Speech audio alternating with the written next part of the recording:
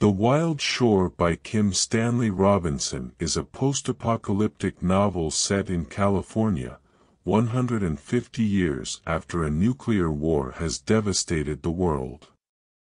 The story follows a young man named Tom, who lives in a small coastal community called San Onofre. Tom is fascinated by the world that existed before the war, and dreams of one day exploring the ruins of Los Angeles, which he believes to be a magical place. The Wild Shore is a coming-of-age story that explores themes of nostalgia, hope, and the power of storytelling.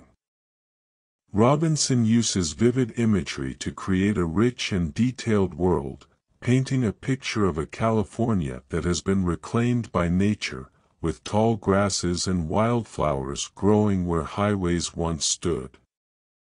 The novel is also deeply rooted in Californian history and culture, with references to the missions, the gold rush, and the beach culture that is so integral to the state's identity. One of the key themes of The Wild Shore is the power of storytelling.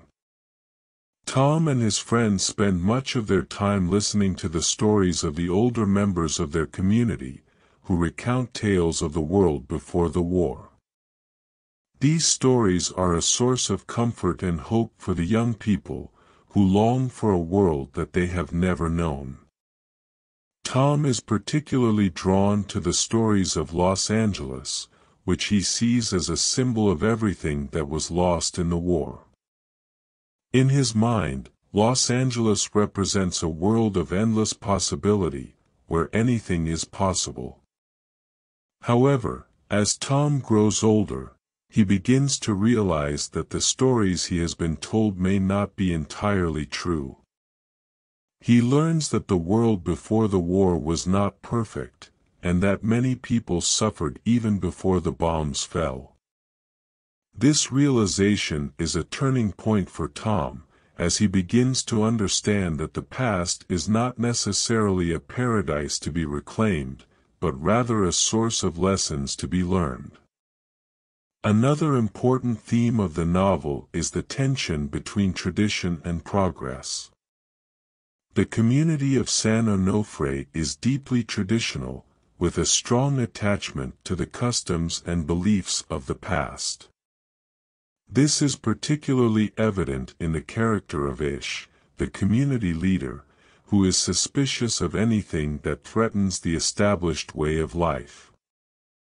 However, Tom and his friends are more open to change, and are eager to explore the world beyond their small community.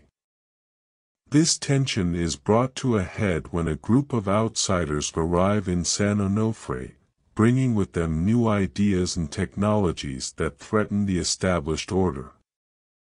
Throughout the novel, Robinson explores the idea of nostalgia, and the way in which it can both inspire and constrain. The characters of San Onofre are deeply nostalgic for the world that existed before the war, and this nostalgia drives much of their behavior. However, this nostalgia can also be a source of blindness, preventing them from seeing the world as it is now. As Tom learns more about the world beyond San Onofre, he begins to see the limitations of nostalgia, and the importance of living in the present. In conclusion, the Wild Shore is a thought-provoking and beautifully written novel that explores a number of important themes.